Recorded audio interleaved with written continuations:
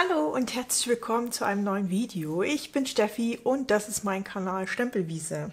Wir basteln heute eine Geburtstagskarte und brauchen dafür einmal eine Grundkarte. Maße blende ich ein. Halsbein. Habe hier schon vorbereitet mit meinem Stempel. Wir brauchen einmal ein Stück Flüsterweiß und ich habe hier Designerpapier aus dem ähm, Designpapierset mit den Pfirsichen. Das ist hier, das hat auf der anderen Seite so ein schönes Muster und hinten drauf sind dann so blumige Muster. Sehr schönes Designerpapier.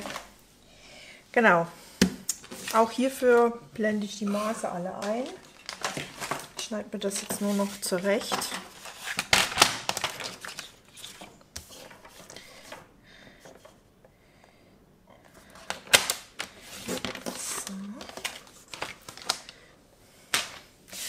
Genau, dann habe ich ähm, aus den Stanzformen Basic Bordüren habe ich mir jetzt hier diesen dieses Eck hier rausgenommen. Da. Und kürze jetzt hier das, äh, äh, das, das Flüsterweißpapier, was jetzt der Grundweiß heißt. Es dauert noch eine Weile, bis das bei mir ankommt. Und zwar so, dass halt äh, nicht zu viel, ne? dass halt äh, das Papier hier unten, das, das gestreifte, unten noch hervorschaut. Sonst muss man es nämlich dann anders zuschneiden. Also ungefähr so das Flüsterweiß, was Grundweiß heißt. Naja, so, also ungefähr in der Höhe stanze ich das jetzt mal ab. Ich habe das auch leicht versetzt, dass die Spitze nicht genau in der Mitte ist. Das finde ich ganz gut. Und ähm, diese Stanzform ist so, dass man Mal gucken, ob wir das einfangen können. Dass das obere mit Pünktchen ist. Pünktchenkante und das untere hatte, hat so eine gestrichelte Kante. Also man könnte quasi auch so, ich will es mal übertrieben machen, man könnte es auch so machen und da äh, Papier unterlegen und dann hat man auch so einen kleinen Hingucker. Kann man auch machen. Wir brauchen das untere Teil aber nicht. So, passt. Wunderbar. Und dann kleben wir uns das Gestreifte auf die Grundkarte. Die Karte ist auch wunderbar für Anfänger geeignet, falls man nicht so recht weiß, wie man anfangen soll, was man zuerst machen soll. Äh, dieses Produktpaket oder, oder Produktreihe ist das Pfirsichzeit. Ist Jahreskatalog auf Seite äh, 60. Ähm, da hat man halt dieses äh, die wunderbare Stempelset mit dazu passenden Stanzform, was wir noch benutzen werden. Und eben auch äh, das Designerpapier. Ähm, das war wunderschön. Also als Set zum Einsteigen zum Beispiel. So, bevor wir das jetzt hier aufkleben, werden wir das noch weiter bearbeiten. Das ist ganz wichtig. Ich möchte das ja hier mit Abstandpads drauf machen. Ne, so. Und, aber wenn ich die Abstandpads drauf habe, ist das Papier natürlich dann auch mit Abstand. Das heißt, man lässt, das lässt sich auch sehr schlecht stempeln. Deswegen immer vorher dran denken, wenn ihr stempeln müsst, macht das vorher, bevor ihr das aufklebt. Also mir passiert das auch noch manchmal. Das ist halt manchmal nicht vermeidbar. Oder mir kommt dann erst die Idee später, als es schon aufgeklebt ist. Wir brauchen hier einmal Papaya und einmal Farngrün und eben aus dem Stempelset diesen äh, Blätterzweig und dazu diese kleinen Pfirsiche. Ich habe mir das hier schon auf dem, auf dem Block aufgeklebt. Taucht das jetzt hier in das Farngrün und mache das hier so ein bisschen in die linke obere Ecke. So. Dann habt ihr jetzt schon die Blätter. Und die sind von der Optik her halt so, dass es so ein bisschen 3D wirkt. Ne? Wenn man das aus der Nähe sieht. Das ist so schön. Und dann haben wir hier die dazu passenden Pfirsich, Pfirsiche. Und da muss man halt schauen, ähm, wie genau das passt. Und zwar haben die zwei Pfirsiche haben oben so eine Einkerbung für so einen Zweig. Und da kann man gucken, ich muss jetzt mal vor die Kamera gehen. Dann kann man in etwa gucken, dass man da genau die, den Zweig trifft und halt den. So, so schaut es dann aus der Nähe aus. Ne? Als wäre das ein Stempel. So schön. Färbt man richtig gut. So. Das heißt, das haben wir fertig. Jetzt nehmen wir uns noch Schiefergrau. Und ebenfalls aus dem Set zum Geburtstag. Und das stempeln wir uns einfach hier drunter.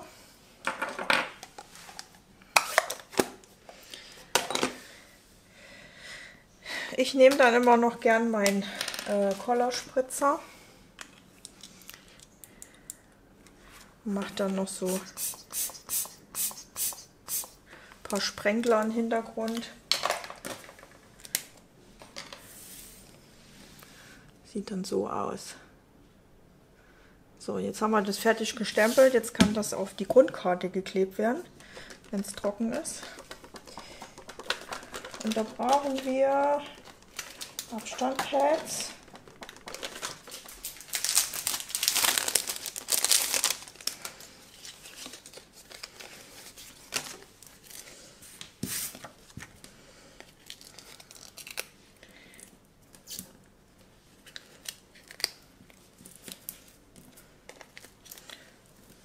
So.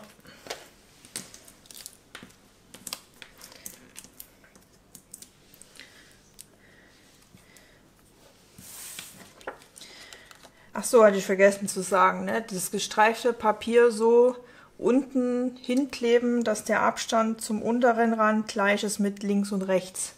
Da kann man mal gut äh, dran anlegen. Und das Weiße mache ich jetzt genauso oben. Muss genauso Abstand sein wie links und rechts. Und dann sollte es eigentlich passen. So. Finde ich schön. Und jetzt nehmen wir aus dem Stanzenset, den dazu passenden Stanzenset, ist das hier, äh, nehmen wir jetzt so eine, die ganz kleinen Blümchen. Da brauche ich jetzt die zweimal die ganz kleinen und einmal das große. Und dafür brauchen wir dann noch Babyblau äh, Papier. Schneide ich mir jetzt hier so ein Stück raus.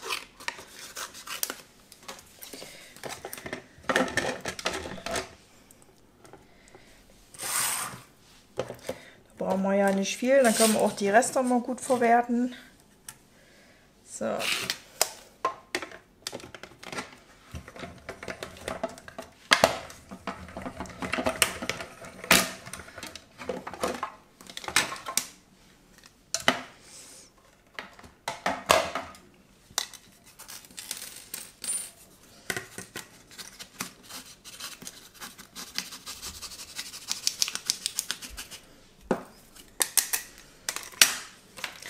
So, dann nehmen wir uns eine weiche Unterlage. Ich habe hier noch ähm, so eine Moosgummiplatte.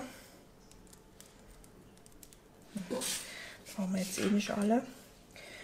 Und legen uns die Blümchen da drauf.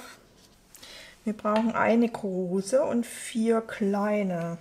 Dann nehmen wir uns irgendein Werkzeug, was eine runde Spitze hat. Ich habe hier noch so einen alten Embossing-Stift und drückt das dann äh, so runter, die Blümchen, dass die sich am Rand so ein bisschen hochheben und dann so ein bisschen 3D wirken.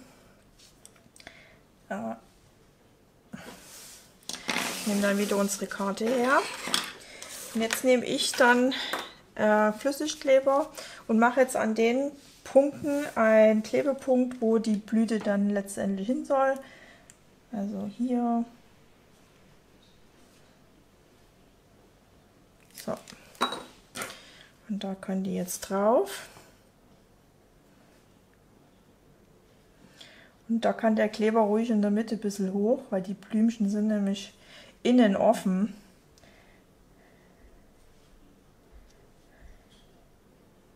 Manche mögen es, manche nicht. Ich mag es, weil die Blümchen dann nämlich gleich so eine Art, ja, innen so eine Art Freistelle haben und dann weiß sind, sonst wären die komplett blau.